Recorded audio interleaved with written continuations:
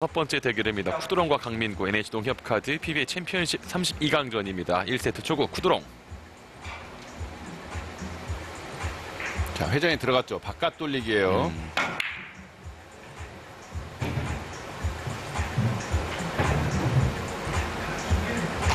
가볍게 초구 득점 쿠드롱입니다. 자, 바깥 돌리기와 안으로 돌리는 형태의 차이점을 두자면 우선 득점력에서는 바깥 돌리기가 훨씬 더 높습니다. 음. 자, 하지만 다음 공 포지션을 예측하기가 살짝 힘들다는 아, 점이 있겠고 음. 안으로 돌리는 형태는 득점력이 살짝 떨어지지만 포지션 플레이가 완벽하다는 거죠. 음, 들어만 간다면 그렇죠. 예.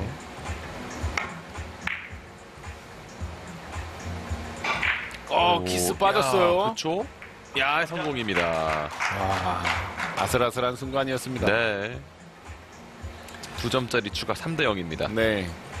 자, 이 넣어치기가 키스가 나고 안 나고는 두 선수의 이 분위기, 음. 그 리드하는 면에서 차이가 있을 수 있었어요. 오. 자, 횡단. 자, 시작부터 빨라요, 쿠드롱.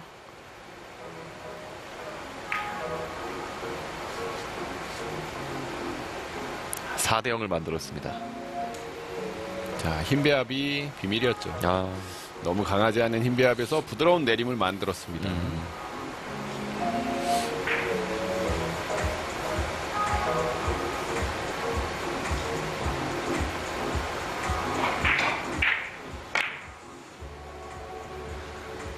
갔다 와서 완벽하네요. 정확하네요. 시작하자마자 하이런. 네, 아무리 코너 깊숙이 가도 3쿠션으로 직접 나오기는 힘들다는 판단 때문에 넉넉하게 보내고 4쿠션으로 만든 되돌려치기입니다. 아,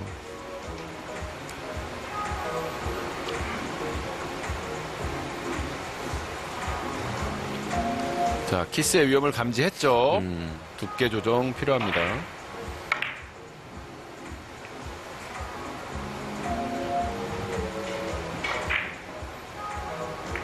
자, 오, 6대 0. 초반부터 압박이 심합니다. 예. 자, 지금은 정상적인 진행으로는 키스가 있기 때문에 큐를 약간 위에서 내리 꽂으면서 음. 찍어치는 효과로 키스를 완벽히 피했어요. 네. 자, 안으로 갑니다. 가장 안전한 선택이죠. 음.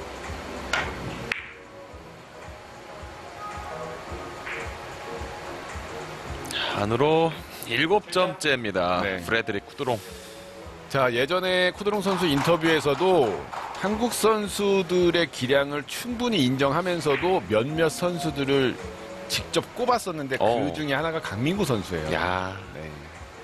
그만큼 처음부터 방심하지 않고 강력하게 몰아붙이고 있는 쿠드롱 선수입니다.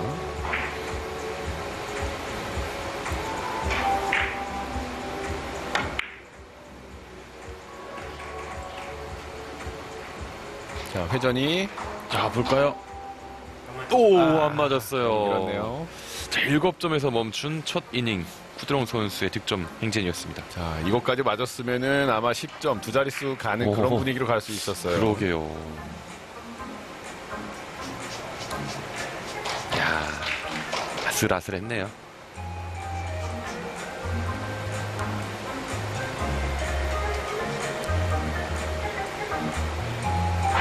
일곱 개 하이런 쿠드롱 앞에서 다시 강민구 선수입니다. 처음 공격하는 포지션 치고 너무 어려워요. 어, 자, 자, 볼까요? 되나요? 힘이 강민구 됐어요. 와, 성공입니다. 야, 멋진 뱅크샷으로 오늘의 시작을 알립니다. 강민구. 자, 이틀의 경기, 그리고 경기 전에 주어지는 단 3분의 연습구. 어, 자, 그리고 본인의 감각을 얹어놓은 완벽한 뱅크샷이에요. 뭐 뱅크샷 하면 또 이제 강민구 선수 이야기를 안 할 수가 그렇죠. 없죠. 예. 한때 강뱅크라는 호칭으로 예. 엄청난 팬을 확보를 했죠. 예.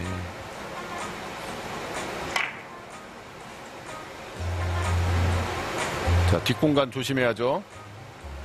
야 빠져나갔습니다. 자 일단 하나씩의 또 bank shot들을 보여줬던 두 선수의 첫 이닝이었고요. 7대2의 스코어. 자, 앞선 그 three bank shot의 성공에 비해서는 음. 이번 바깥 돌리기 너무 아쉽네요. 아쉽죠. 네. 두 번째 이닝입니다.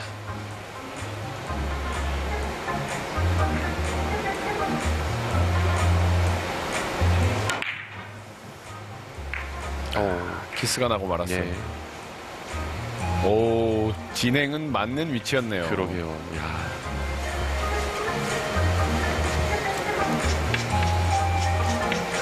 두 선수의 지난 가장 최근 대결은 이제 128강에서 맞대결을 했습니다. 지난해. 당시도 승부치기까지 갔어요. 128강에서. 맞아요. 예. 아,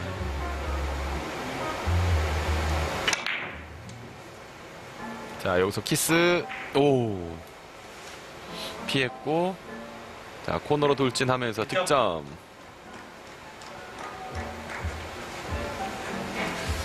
자, 쿠드롱 선수 초반 기세에 지금 밀리지 않고 음. 한점 한 점 잘 만들어가고 있어요. 네.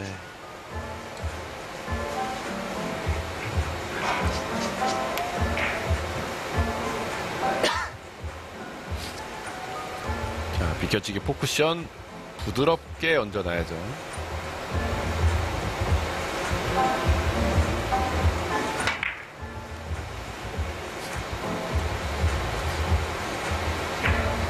자, 딱 맞는 힘 배합이죠. 와. 연속 득점입니다. 7대 4 석점 차.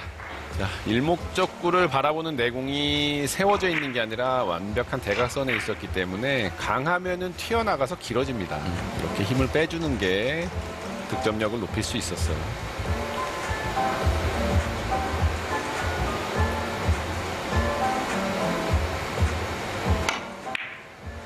바깥 돌리기 좋아요. 성공.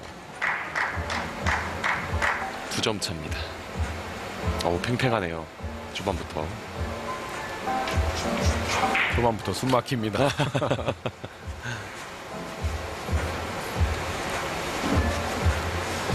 자, 그리고 코너를 끼고 돌아오는 내공의 움직임이기 때문에 강하면 밀려서 짧아지죠. 음. 자, 적당히 힘을 빼주는 게 또한 좋았습니다.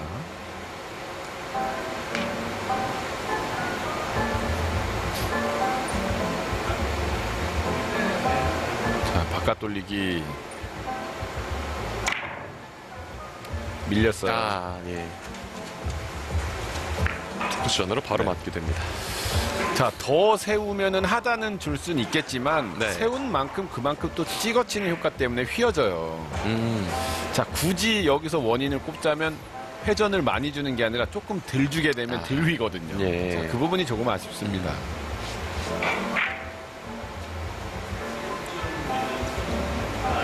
왼손 살짝 준비를 해봤다가요. 세 번째 이닝 쿠드롱.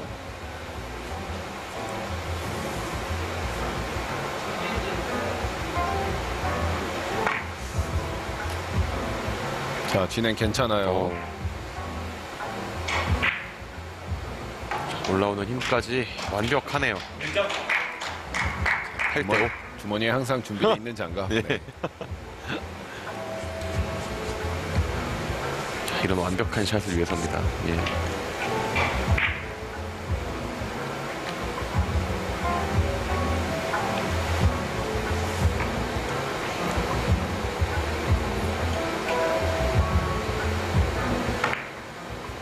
코너 깊숙하게 들어가요. 야, 단탄이 나오는 두께네요. 오, 그러게요. 화려한 예술군은 아니지만 얇은 두께 키스를 피하기 위해서 얇은 두께였고 또 회전이 많으면 안 되는 예민한 당점까지 네. 완벽한 조합이에요.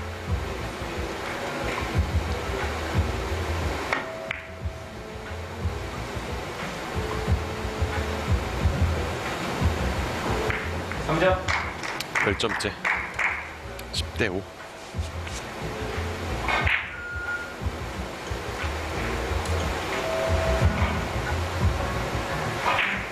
두께에 대한 자신감이 초반부터 득점이 나오니까 음. 굉장히 좋습니다.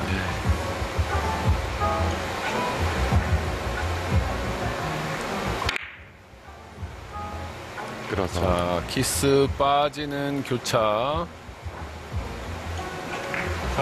4연속 포인트입니다. 프레드릭 쿠드롱 11대 5.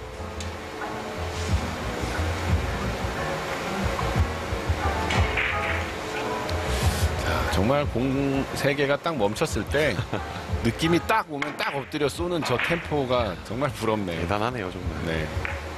오점 다 샤이런입니다. 12 대 5.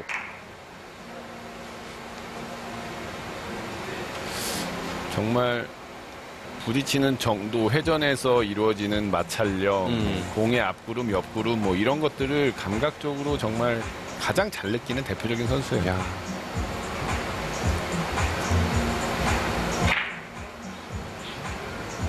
안으로 포크션 갑니다.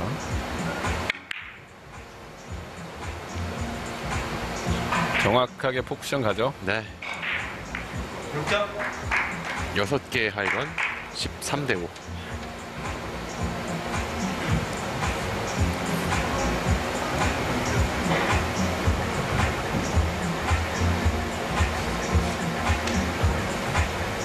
오늘은 특히나 별다른 말을 할 필요가 없네요. 정말 네. 네. 선수의 샷들은요. 네.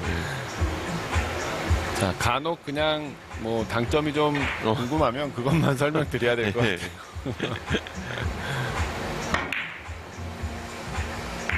어, 두께 실수가 나왔죠. 네. 할 말을 만들어주는군요. 네, 지금은 나옵니다. 더 얇은 두께를 이루고 이목적구 위로 지나가는 그런 키스 피하는 두께를 원했지만 너무 두껍게 맞았습니다. 아. 두 점을 남겨놓고 물러나는 부드러운 선수였고요.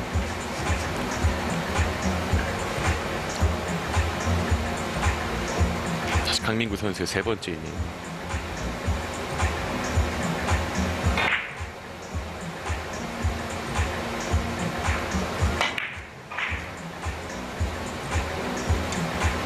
자, 괜찮은 진행이죠. 네. 성공입니다. 자, 지지 않네요. 네. 이럴 때일수록 상대방의 플레이는 빨리 잊어야 되고 음. 그냥 내 느낌, 내 앞에 있는 공만 의식해야죠.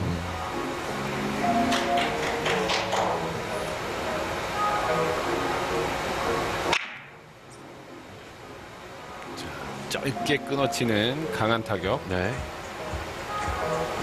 어, 너무 길은가요? 자, 볼까요? 오. 아.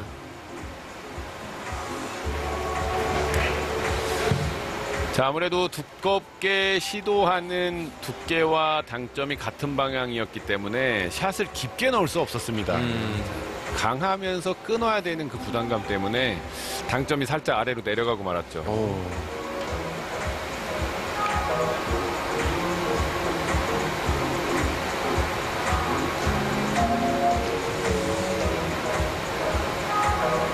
한 번에 끝낼 생각입니다. 단장장 plus two 형태. 오. 사이로 빠져나옵니다.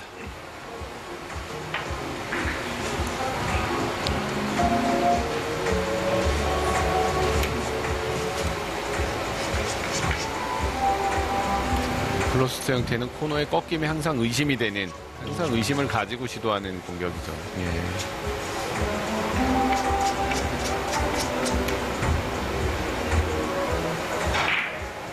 bank shot. 자, 힘을 조금 뺀다면 12시 당점인데 힘을 다 줄 거라면 11시 당점 필요해요. 걸어쳤네요. 어. 아, 좀 있네요. 예. 자, 아무래도 강민구 선수에게는 넣어치기보다는 걸어치는 공격이 단 5%라도 아. 확률이 높았다는 판단이었죠. 예. 예.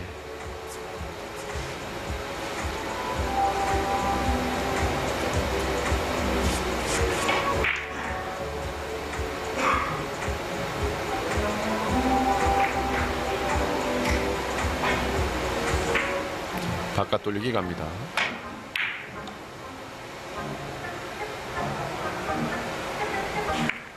세트 포인트.